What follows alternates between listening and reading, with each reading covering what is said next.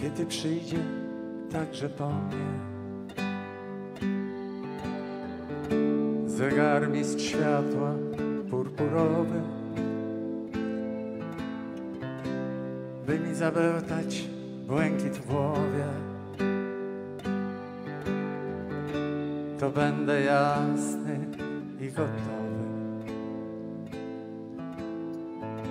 Spłyną przeze mnie dni na przestrzał. Zgasną podłogi i powietrze. Na wszystko jeszcze raz popatrzę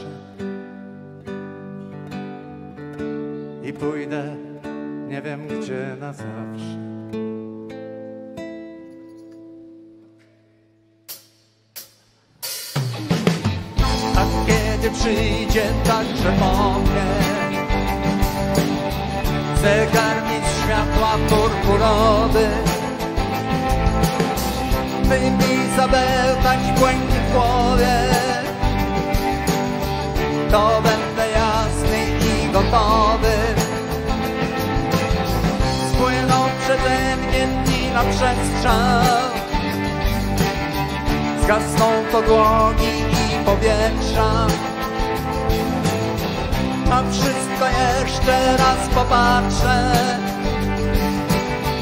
i pójdę nie wiem gdzie na zawsze.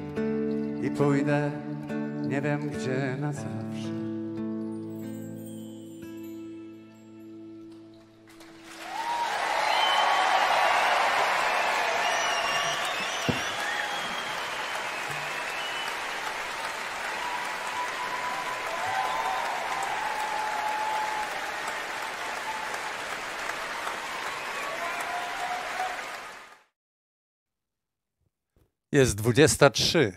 Zaczynamy.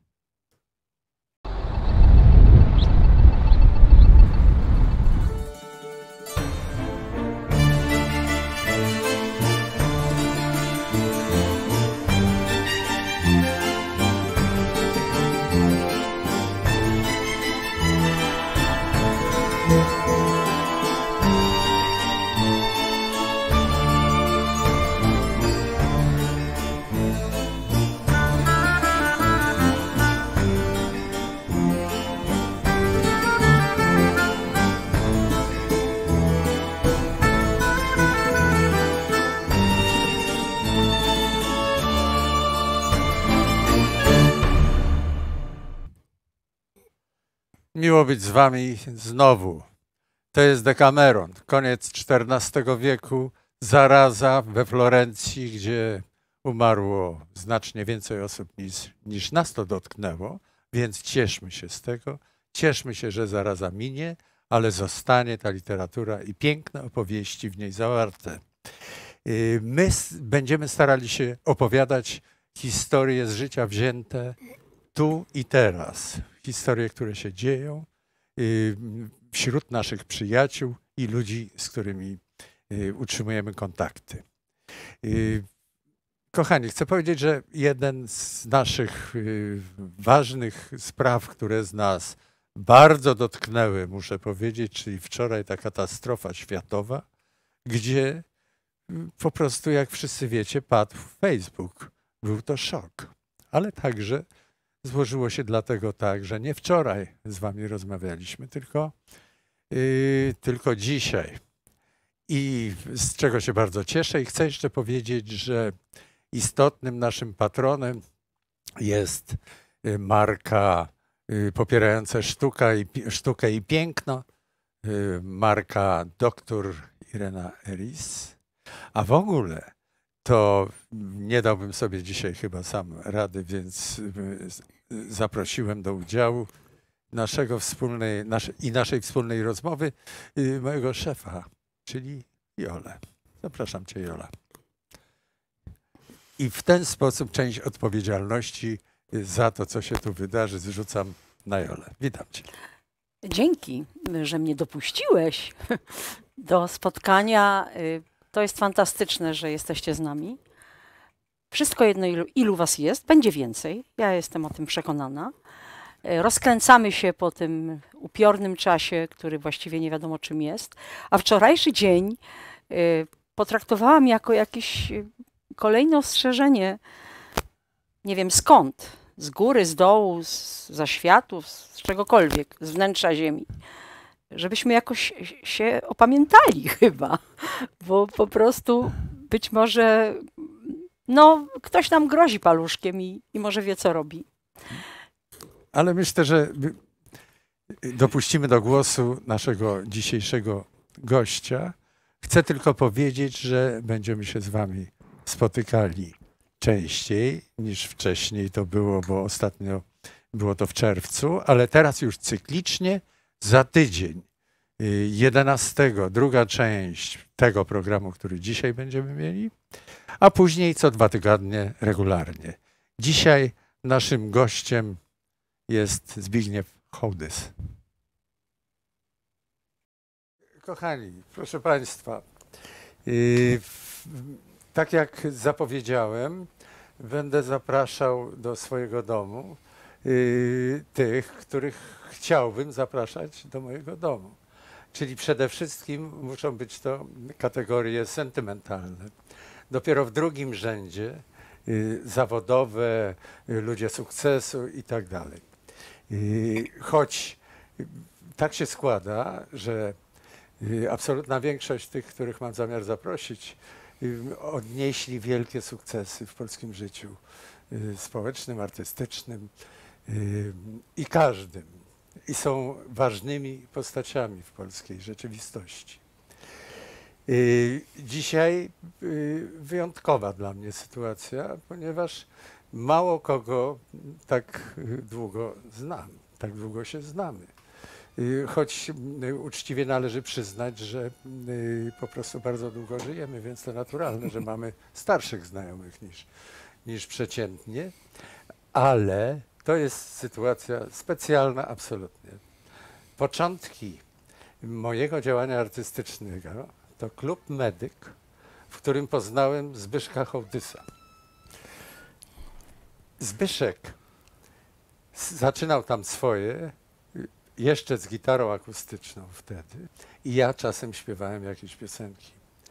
I piwo, które piliśmy w tymże y, klubie Medyka, jak sądzę, spowodowało to, że później życie potoczyło się tak, że nasze zetknięcia, choć rzadkie, zawsze są. Czuję tak, taką wewnętrzną y, przyjemność. Wciąż siedzimy przy tym samym stole. W medyku. Przy tym samym stole, ale też jakby w życiu, jak powiedziałeś piękną rzecz, bo wydaje się, że w życiu stoimy przy tym samym stole. Choć, mm, y, y, choć y, oczywiście są między nami różnice. To, i, I to jest fajne, ale ja zawsze jakby solidaryzuję się z Tobą i czuję także, że mam Twoją sympatię, za co Ci dziękuję.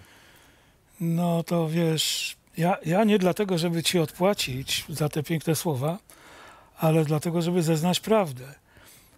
Mało kto wie, że ty śpiewałeś w zespole Dzikusy, czy z zespołem Dzikusy. Prawda? I to był moment, kiedy jako chłopak z liceum, jak usłyszałem no, chyba w rozgłośni harcerskiej wasze nagranie, to szczerze mówiąc byłem zły, że jest taki zespół, że tak fajnie gra, że tak bardzo fajnie śpiewa i to nie jest kurtuazja, to było bardzo oryginalne.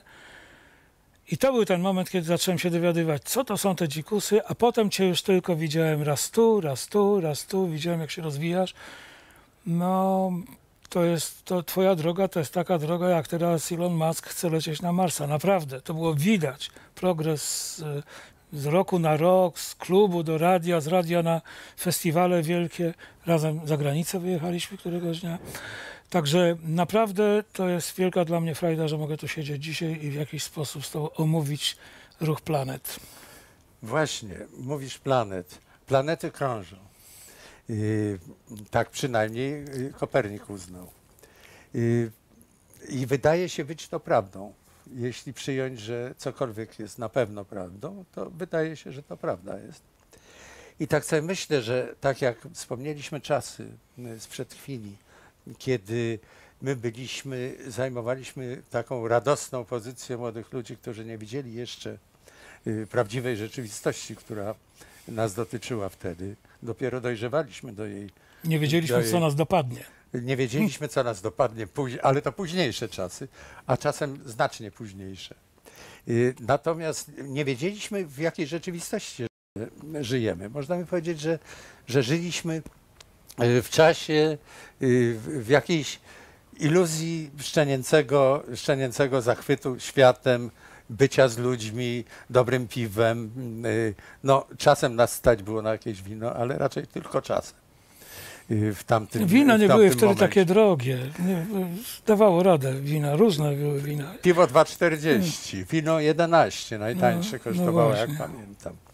Ale wracając do, do tego, y, można by powiedzieć, że y, rodzice nasi martwili się o nas bardzo wtedy, ponieważ uznali, że y, nosząc może zbyt długie włosy, czy, czy też zbyt późno wracając, a jeszcze nie będąc pełnoletnim, że schodzimy na złą drogę. Zapewne takie myśli przychodziły i Twoim rodzicom.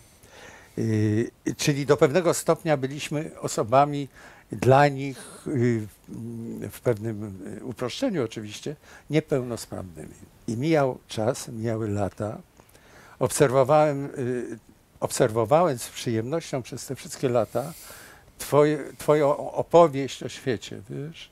Twoją, twój odbiór świata, który jednocześnie jest empatyczny, z drugiej strony rozumny. Czasem y, te, te dwie rzeczy trudno połączyć. I muszę powiedzieć, że byłem pełen, pełen podziwu dla ciebie i dlatego powiedziałem ci kiedyś, że kibicuję ci w tym wszystkim, co, co robisz, co wypowiadasz, jak opisujesz świat.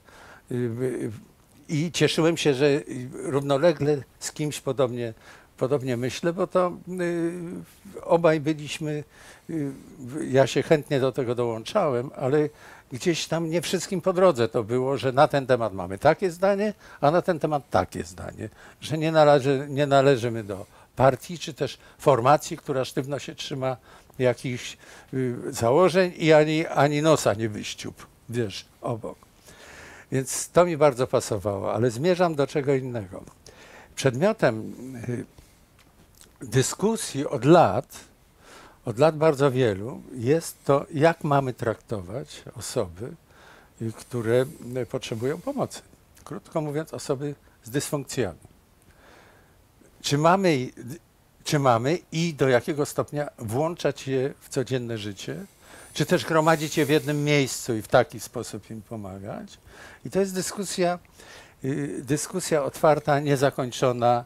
Są całe grupy społeczne, które popierają jedno, y, jedno rozwiązanie, są inne grupy społeczne, które popierają drugie rozwiązanie. I bardzo chciałbym wiedzieć, y, znając Twoje refleksje, z którymi często się zgadzam, chciałbym wiedzieć, co Ty o tym sądzisz.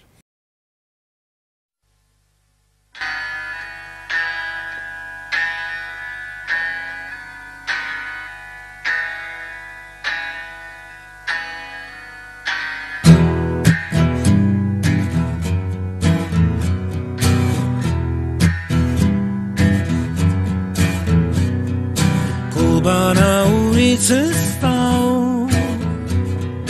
Na gitarze pięknie grał. Ja szalałem z tamburynem. Ludzie omijali nas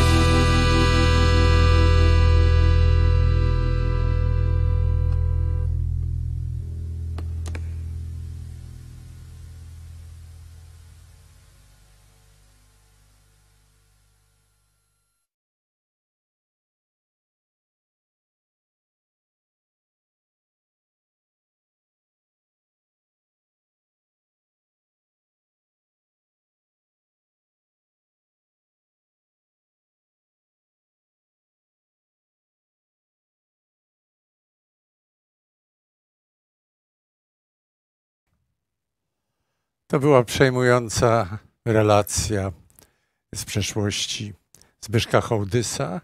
Zresztą y, treść tej piosenki nawiązuje do tematu naszych rozmów dzisiaj, a rozmawiamy o wykluczeniach. Druga część rozmowy ze Zbyszkiem Hołdysem. No to wchodzimy na troszeczkę poważniejsze piętro, ale nie, nie, nie będę przynudzał. Powiem może tak.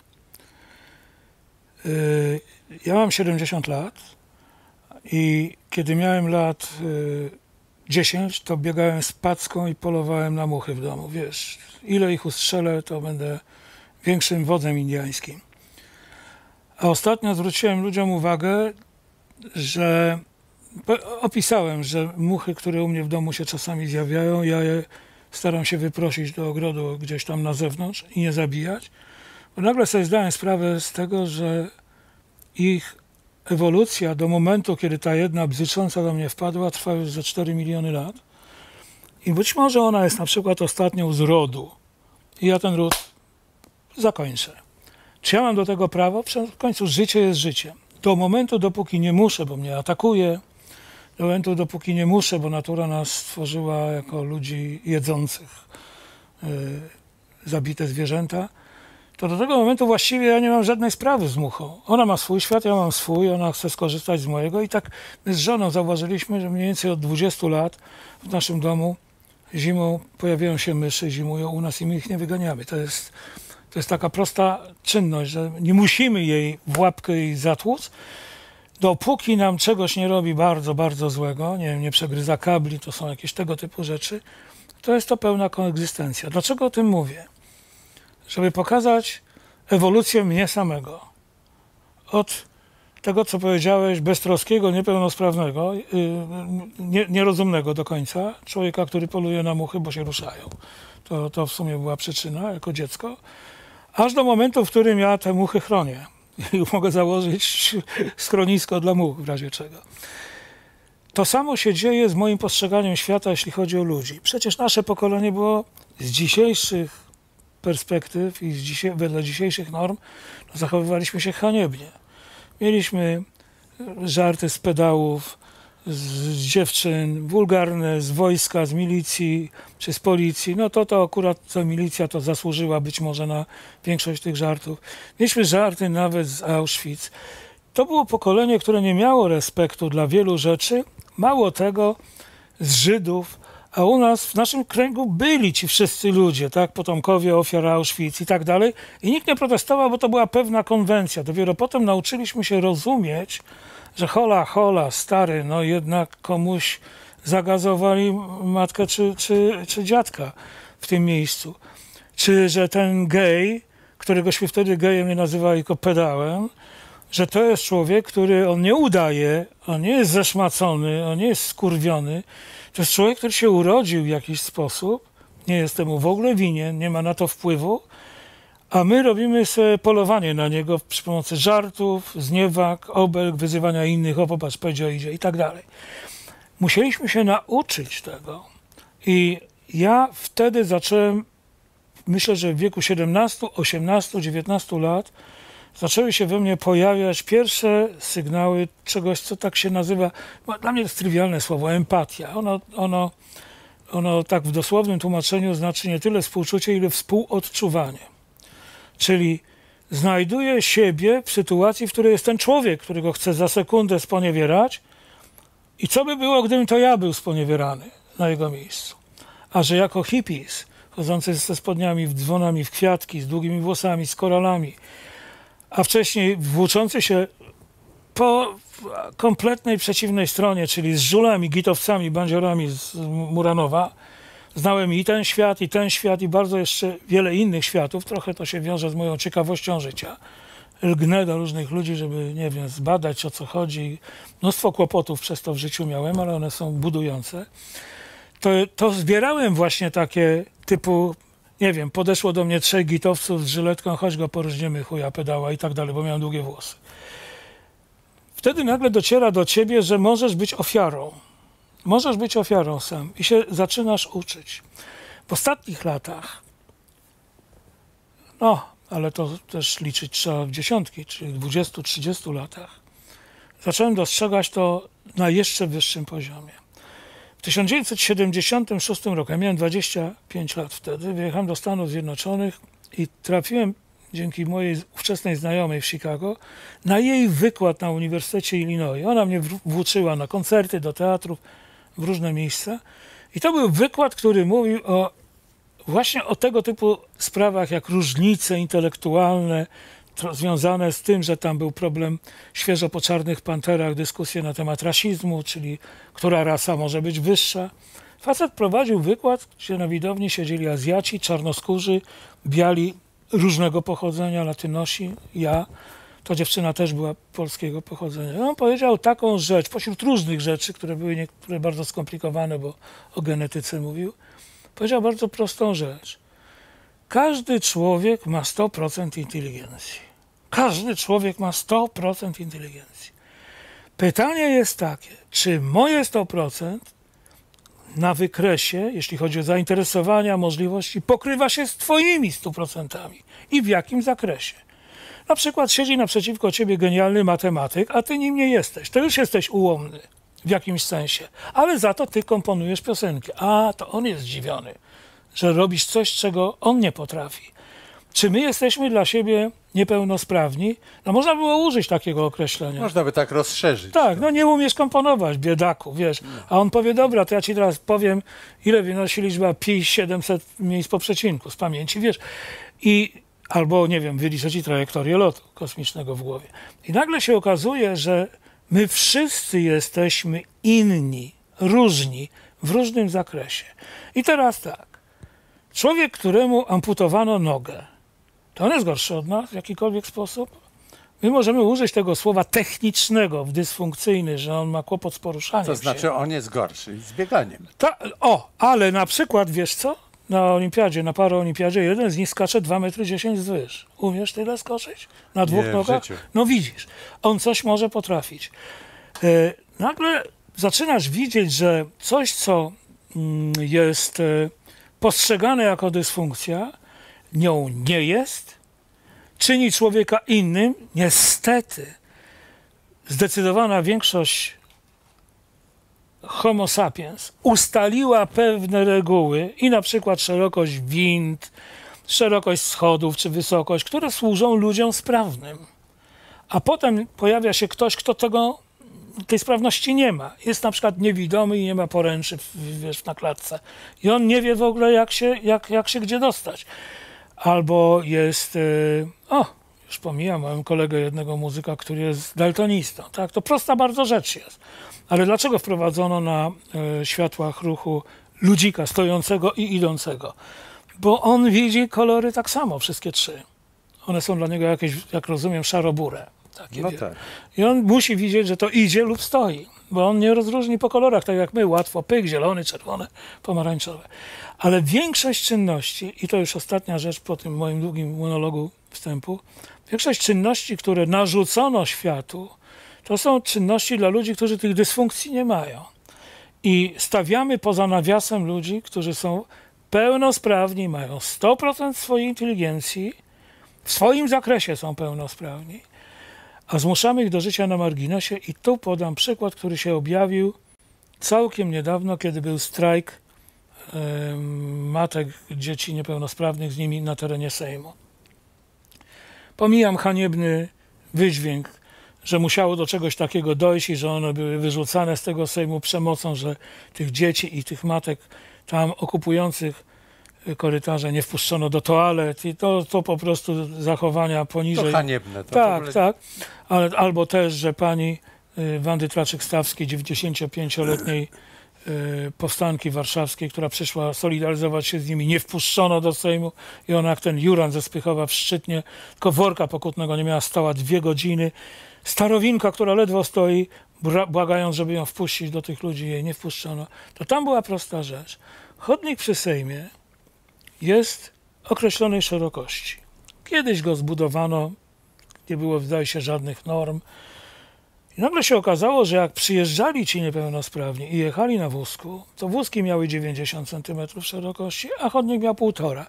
I jak dwa wózki chciały się minąć, to jeden musiał zjechać na asfalt, bo się nie wyrabiały. A jak zjechał na asfalt, nie było skośnego podjazdu.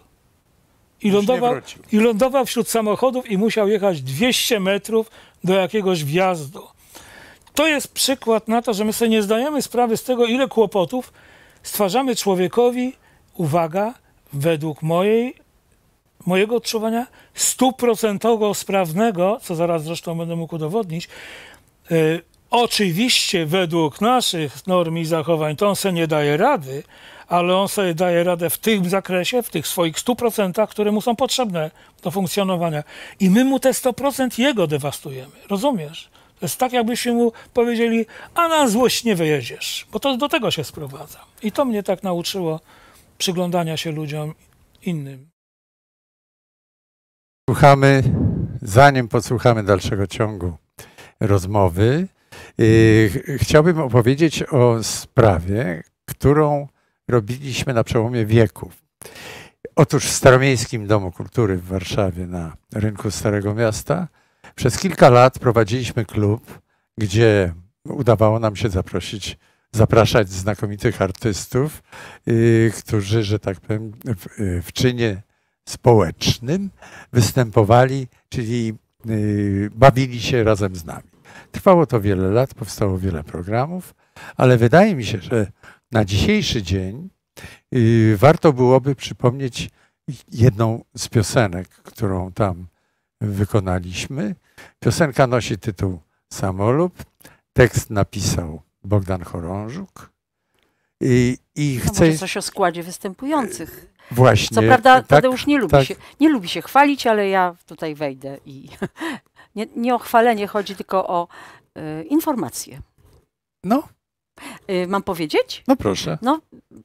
No powiem skromnie, nieskromnie, że zestaw jest rodzinny. Państwo pewnie po obejrzeniu, to króciutkie jest. Y, Zorientujecie się, kto będzie tam grał i śpiewał. A będziemy tam piękni i młodzi na dodatek. No ja jednak powiem. Występuje przede wszystkim Jola, ale także Joli brat, y, wspaniały aktor, a także pianista, mój syn Piotr, jeszcze jeden nasz syn Mariusz i w takim rodzinnym gronie śpiewamy o tym, że warto byłoby kogoś polubić. Samolub.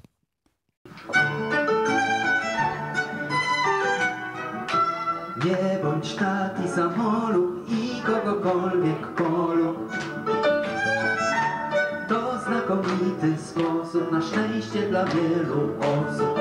Bo ten, kogo ty polubisz, stanie się lepszy dla drugich. Więc nie bądź taki samolub i kogokolwiek polub. To znakomity sposób na szczęście dla wielu osób. A Właśnie ty jesteś tym drugim, chciałbyś, by ktoś cię polubił. Więc nie bądź taki samolub i kogokolwiek polub.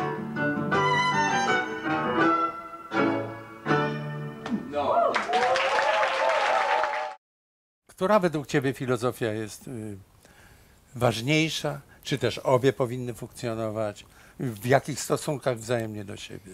Czy gromadzimy osoby z dysfunkcjami, z jedną dysfunkcją w jednym miejscu, z drugą dysfunkcją w drugim miejscu?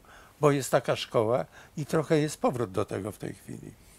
Y, jak to widzisz? No nie, to ja tego tak nie widzę.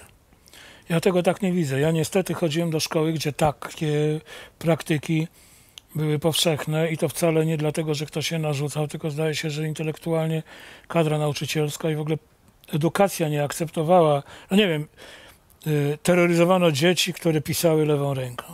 Jako, jako że, to jest, że to jest nieprawidłowe, tak? Czyli Mańkutów po prostu ćwiczono batem, że mają pisać prawą ręką. No to wiesz, każdy dorosły człowiek, który dzisiaj wie, że jest praworęczny, niech zacznie pisać lewą ręką, bo mu ktoś każe. Zaraz się dowie, co to jest.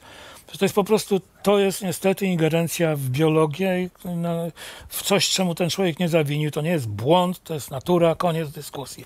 Równie dobrze pamiętam, że u nas w szkole y, próbowano tworzyć klasy specjalne dla osób, które na przykład są w jakiejś dziedzinie słabsze. To jest dyskusyjne. Mm, I tu mógłbym polem, nie, nie polemizować, tylko zastanawiać się dłużej z jakimś fachowcem, jednym czy drugim, bo powiedzmy, jeżeli ktoś jest super zdolny w naukach ścisłych i w ułamku sekundy mm, pojmuje wszystkie wzory i tak dalej, a drugi tego nie potrafi, być może spowalnia naukę i być może ograniczy możliwości tych ludzi mm, sprawnych y, w dziedzinie fizyki, chemii.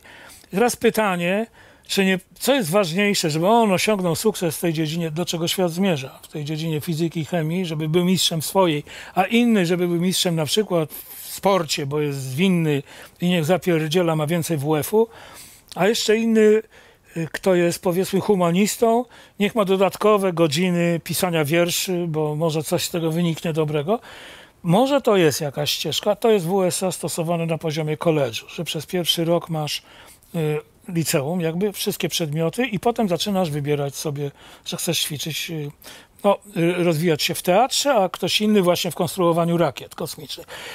I, ale w momencie, kiedy decyduje o, o rozdzieleniu społeczeństwa, coś, co większość kiedyś nazwała dysfunkcją, to to jest eliminowanie człowieka i tu już, wiesz, skala tej eliminacji aż do Adolfa Hitlera może sięgać, wiesz, bo on się nie nada. Było spotkanie w mojej klubokawiarni kilka lat temu, przyszedł Korwin-Mikke i on właśnie wygłosił taką teorię. Jaka paraolimpiada? Przecież to są kuternogi, kulawcy, nóg nie mają, niech się zajmą czym innym. Tak, Bo on tak, używa taki, tak, tak, takiego tak. języka. Kobiety mają małe mózgi, w ogóle nie powinny mieć żadnych praw. Kochani, każdego tygodnia przez trzy dni Jola zabiera Filipa do auta i jadą do Łomianek, do stajni prowincja, gdzie Filip pracuje, podaje kawę, ale także jeździ na koniu. Chcielibyśmy opowiedzieć o niezwykłej yy, atmosferze, która tam panuje, atmosferze przyjaznej, w której bardzo, bardzo przydają się słowa właśnie takie jak nie bądź taki samolub i kogokolwiek, polub. I one się tam sprawdzają bardzo. Jest miejsce życzliwe, wspaniałe i bardzo bym chciał, żeby to szczęście, które nas spotkało, że możemy korzystać z tego miejsca, trwało jak najdłużej. A zobaczycie Państwo i usłyszycie, y, jak tam jest w, krótkim, w krótkiej zajawce, a cała opowieść za tydzień, w poniedziałek 11 o 20.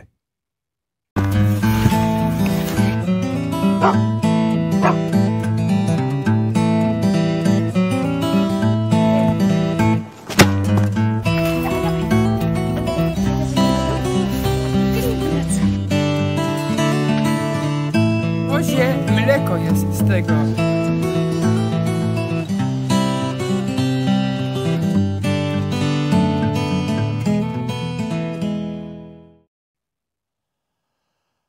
No i wracamy do czwartej części y, rozmowy z, y, ze Zbigniewem Hołdysem. Dzisiaj rozmawiamy y, o różnych, różnych przejawach, aspektach i stosunku ludzi do problemu wykluczeń. Jak słyszeliście, Zbyszek ma szereg bardzo ciekawych na ten temat spostrzeżeń i uwag. Myślę, że warto się nad nimi zastanowić. Zbyszek Hołdys o wykluczeniach po raz czwarty. Ja nie, ja nie mam matury, ja rzuciłem szkołę przed, przed egzaminem maturalnym. Ale los spowodował, że potem zostałem prezesem liceum. A Kazik Staszewski z kultu był wiceprezesem w tej szkole. Taką szkołę żeśmy sprokurowali. Ale w jednej z, y, z klas, y, do szkoły, w której mój syn chodził, były właśnie dzieci, które miały różnego rodzaju, no pewnie byśmy nazwali dysfunkcję, bo chłopak, który ma ADHD i chodzi po ławkach w trakcie lekcji, to jest jakaś kłopotliwa sytuacja dla reszty klasy, dla pedagoga. Teraz jak sobie z tym poradzić? A inny był niewyrośnięty, był po prostu malutki. Nie to, że miał zostać ym, ni- niskorosłym, karłym liliputem, jakby go zwać, tylko po prostu był drobny. Oni mieli tam po metr 30, bo to była trzecia, czwarta klasa, a on miał tam powiedzmy metr 10 i był chudzi. No. Ja się dowiedziałem, że on w ramach mm, ćwiczeń jego mamy, żeby on się stał większy, chodzi na pływalnię. I okazało się, że chłopak fajnie pływa i pięknie skacze do wody, co w ogóle dzieci w tym wieku tego nie potrafiły. Ja zorganizowałem całą klasę i poszliśmy mu kibicować do Pałacu Młodzieży. I byliśmy jedyną grupą, poza wszyscy startu, wszystkie dzieciaki startujące miały rodziców albo kogoś tam. A tu przeszło 30 dzieciaków, wrzeszczących, tańczących i szczęśliwych, że on skacze i odnosi sukces. On był przeszczęśliwy. Stał się członkiem gangu. Wiesz, zobaczył, że myśmy zobaczyli, że on potrafi coś, czego my nie potrafimy. I nagle ten jego wzrost i ta chuderkowata postura przestały mieć znaczenie, bo był mistrzem. Pokazał nam to mistrzostwo. A drugi przypadek, który był dla mnie właściwie nauką na całe życie, jedną z wielu. Otóż ta znajoma w Chicago zaprowadziła mnie również na mecz y, futbolu amerykańskiego, akademickiego. Y, Nie, chcę tu Was wprowadzać, może i Ciebie y, w szczegóły. To jest dyscyplina znacznie poważniejsza niż w Polsce piłka nożna. To są naprawdę wojny plemienne między wielkimi drużynami, także między uniwersytetami. Tam jest ta liga transmitowana, przychodzą tłumy i cała ceremonia jest dokładnie, nawet wśród tych koledżów czy szkół wyższych jest taka jak u dorosłych. Przychodzą z tymi wszystkimi strojami, pancerzami, zbrojami i tak dalej. I naprawdę no, na, na końcu tej drogi jest jakaś, nie wiem, 100 milionów dolarów kontraktu, więc mają o co walczyć. I te mecze zaczynają się mm, hymnem, odśpiewaniem hymnu. To jest klasyka w Stanach Zjednoczonych. Więc nagle głos przez megafon, bo to jest, ich jest wiem, ze 30 na boisku, około 10, 12 tysięcy, 15 tysięcy ludzi na stadionie, widzów, bo to tak tam wygląda. I głos mówi, że wstańmy tam do hymnu, zaraz będzie hymn. No więc ja też wstałem, choć to nie mój hymn, i nie położyłem ręki na sercu, bo to nie mój hymn. Akurat oni mają tę, taką praktykę. Wszyscy wzięli. I ja nagle słyszę takie. Myślę, co się dzieje w ogóle? I spojrzałem zaniepokojony na Ulę, ona mnie szturchnęła i pokazała. A tam siedział dzieciak z porażeniem mózgowym na wózku i śpiewał hymn tak, jak potrafił.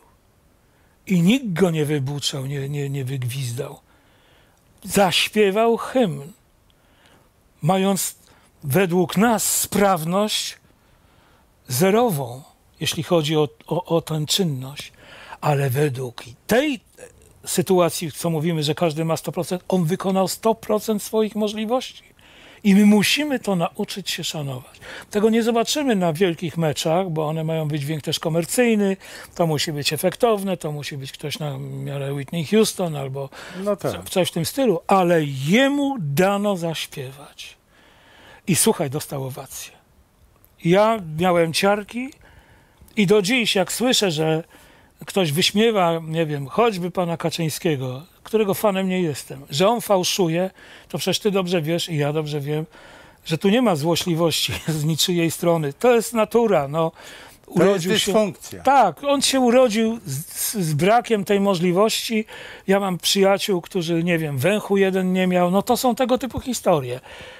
Ale to nie jest powód do wyśmiania, do relegowania człowieka ze społeczności. Kompletnie. No, gdyby on przekręcał ten hymn celowo, tam, nie wiem, sikał w, podczas śpiewania, moglibyśmy zacząć zastanawiać się nad tym, czy postępuje fair wobec reszty członków plemienia. Ale tu i ten śpiew tego niepełnosprawnego po porażeniu to jest dla mnie w ogóle wskazuwa, wiesz, i jego nikt nie wykluczył, Tadeuszu. To jest odpowiedź na twoje pytanie. No właśnie, ja mam, ja, mnie spotykają doświadczenia dobre i, i gorsze.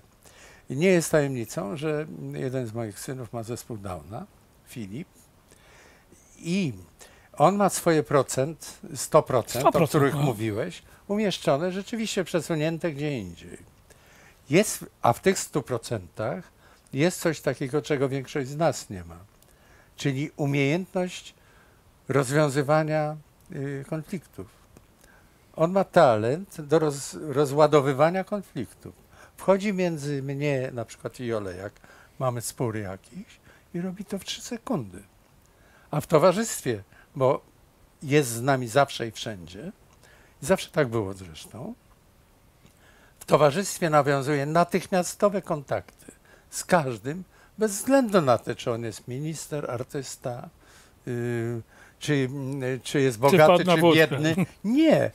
On tak samo serdeczny kontakt nawiązuje z każdym. Przed chwilą tego doświadczyłem i to jest, to, to jest coś, co spowodowało, że mój pobyt tutaj jest szczęśliwszy. Mówię otwarcie. Od wejścia. Tak, tak. To jest w ogóle wystartował e, z tym liścikiem, skonstruowanym bardzo pięknie, ponieważ pisze e, takim specyficznym charakterem pisma, to mi odczytał i tak dalej, dumny, że, że sam to stworzył i ja właściwie nie potrzebowałem żadnej opowieści na ten temat, jak do tego doszło, co.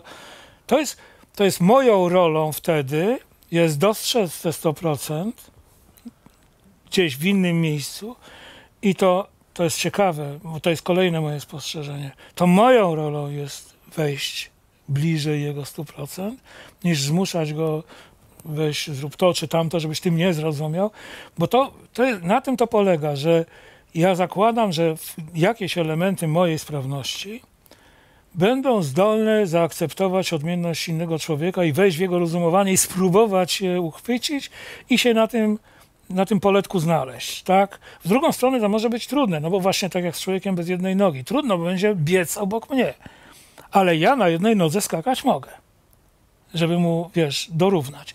W związku z tym, czy zrównać nasze szanse. W związku z tym akurat jeśli mówimy o Filipie, bardzo urocze powitanie i to jest właśnie to, co powiedziałeś. Ja sobie nie wyobrażam jakichś dramatycznych, nieszczęśliwych chwil w obecności takiego człowieka.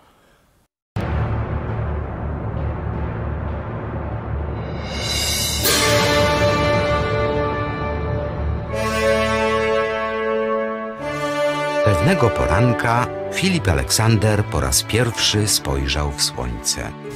Rodzice byli zmartwieni, bo był inny. Jednak po kilku chwilach zaczął obdarzać wszystkich promieniami tego słońca. Po kilku latach nazwał swoją mamę Mamelu, a tatę Tetelu. Oto opowieść o Filipie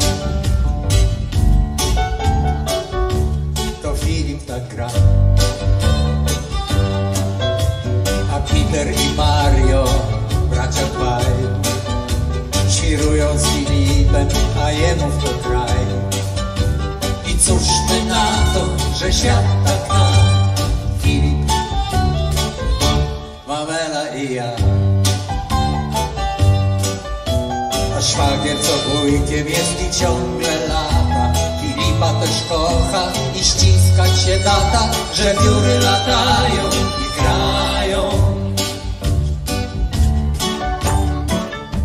Bo Filip tak gra. Uwielbia każdego, buziaka nam da. A my to Filip, Mamela i ja. I cóż my na to, że świat tak gna. Filip, Mamela i ja.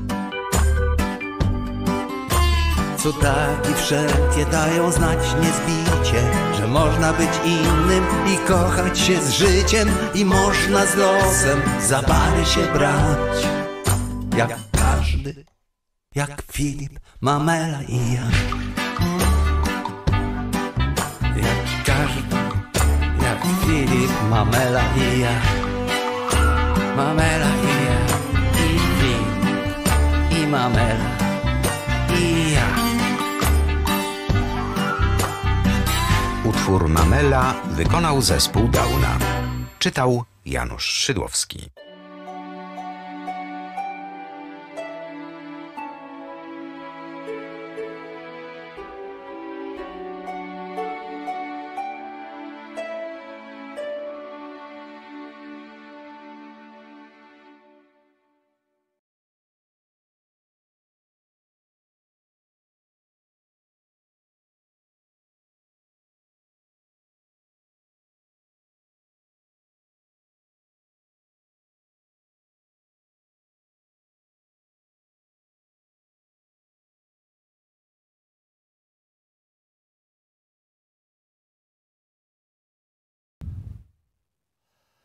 Proszę Państwa, zbliżamy się do końca dzisiejszego wieczoru. Pozwolicie na chwilę prywatności, prywaty, nie wiem jak to nazwać, ale powiem tylko jedno. Bohater piosenki wymyślonej i napisanej przez Tadeusza to Filip, który 24, 25, Boże, mam jeszcze 24 w głowie, 25 lat temu od 4 godzin był już na świecie. Ma dzisiaj urodziny i z całego serca pozdrawiamy Cię, synku. Dlatego musimy kończyć, bo idziemy na urodziny Filipa.